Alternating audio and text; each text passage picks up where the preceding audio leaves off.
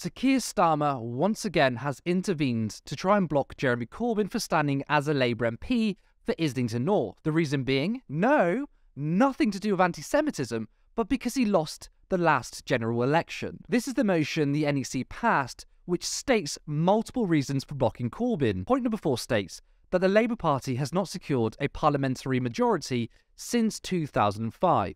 The last point of agreement among the NEC says the Labour Party's interests at the next election is not well served by Mr Corbyn running as a Labour candidate. What a disgrace. It doesn't mention anti Semitism once. Why? It's clearly because Corbyn said nothing wrong in his statements in regards to the matter, and therefore the NEC has had to come up with another BS reason. Why isn't the same applied to Ed Miliband? He's in the shadow cabinet, yet got less votes than Corbyn in both 2017 and 2019 elections. Why isn't Labour's result in 2017, in which it increased its vote share and increased the number of seats, a factor in all of this? This is incredibly flimsy and weak, but it's designed that way. This is a motion in which it clearly, clearly seeks to target left wing MPs because they can apply the same argument. Oh, well, all these left MPs can't stand because they are too left wing and it could harm our chances electorally. This is the most Stalinist, draconian measures that have come from Labour recently. It's an outrage and a disgrace. A political faction is using the party's machinery to purge anyone they don't agree with.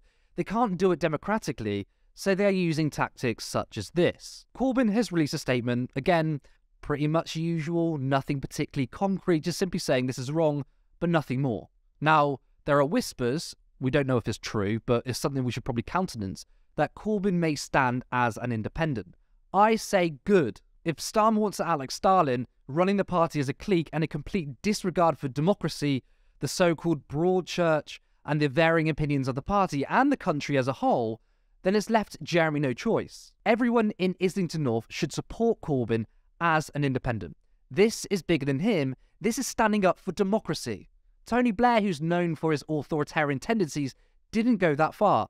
One, because his majority was sizable enough to ignore the left, but at the very least, had the basic decency to keep people in the party who didn't share the views of New Labour. And that wouldn't be right either. The leader leads the party, part of his job is to unify.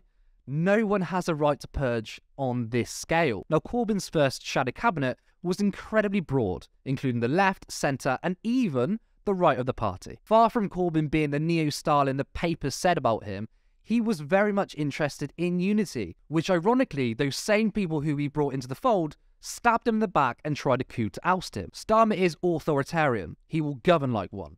If this is what he does with the party and anyone who disagrees with him and his faction, just imagine what he would do with the state. A hint, it won't be anything good.